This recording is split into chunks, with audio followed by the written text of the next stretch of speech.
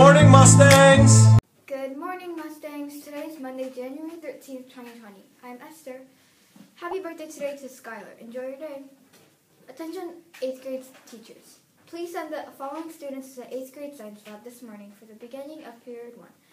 Miss Burkett will keep the students for approximately 15 to 20 minutes, then return them to class. Marco, Dixon, Rosemay, Joshua, Federico, Melody, Takoya, Aiden, Sophia, Malaki, Analia, Abigail, Tyson, Clayton, Leilani, Melina, Isaac, Kaylee, Grayson, Laith, and Anthony. Listen up, 8th graders. IGP meetings will take place tomorrow for Carlos, Halen, Sopo, Halen, Santiago, Eduardo, Andre, Oh, with Mr. Burkett. Also tomorrow is Carlos, Ivis, Elizabeth, Eduardo, Malay, Makey, and Alexandra with Miss Jacobs. Please remind your parents. Club reading reminders.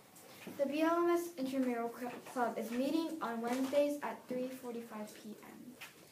Any 7th or 8th grade girl interested in playing softball, make sure you have signed up with Miss Threadgill. Tryouts will start February 3rd after school. You must have a physical on file to try out. You'll need a glove and athletic wear for tryouts.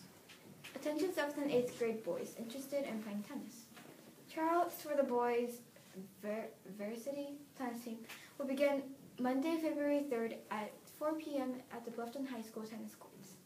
All interested boys need to have a completed physical on file with the high school prior to participation. Any questions can be directed to Coach Wagner at Bluffton High School. That's all for today's show. I'm Esther. Have a great day, Mustangs.